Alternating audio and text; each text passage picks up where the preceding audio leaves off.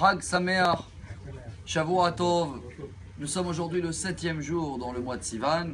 Vous vous rappelez que selon une avis dans la Gemara, il y en avait trois avis différents. Quel jour c'était Matan Torah? Est-ce que c'était le 5, le 6 ou le 7 Et jusqu'à aujourd'hui, ni seulement, bon, la date, on l'a déterminée depuis le calendrier avec Hillel, donc c'est le 6 Sivan. Mais l'endroit, est-ce que quelqu'un ici a pèleriné le montagne, le Har Sinai? Vous savez c'est où? Je me rappelle quand j'étais petit, quelqu'un m'avait amené à l'époque, quand beaucoup des Israéliens il allait en Sinaï pour des vacances. Maintenant je crois que c'est un peu plus chaud là-bas avec euh, Daesh qui a pris les territoires.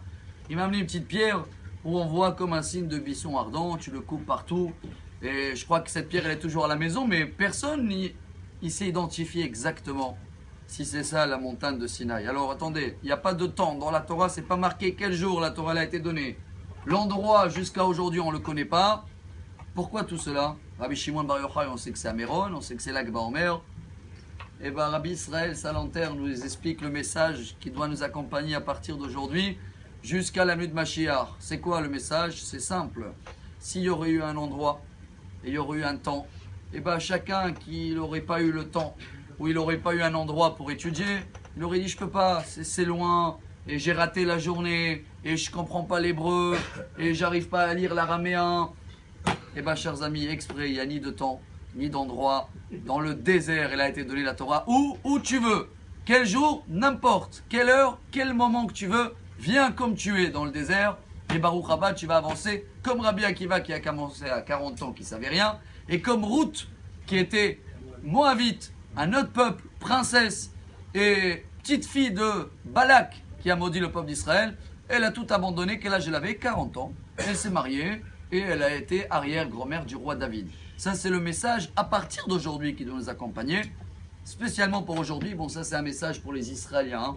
les futurs Israéliens. Euh, ils vont recevoir la vidéo, ce serait ce soir ou demain. Alors, chez nous aujourd'hui, c'est Isro Hag.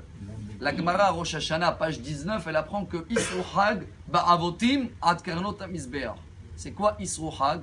Assour, attaché. Et prison, comme on dit, Beta Asurim.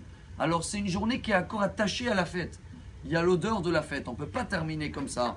Alors, c'est une journée de joie. On n'a pas le droit de faire, bien sûr, Tahanoun et pas d'espède. Et on n'a pas le droit de jeûner aujourd'hui.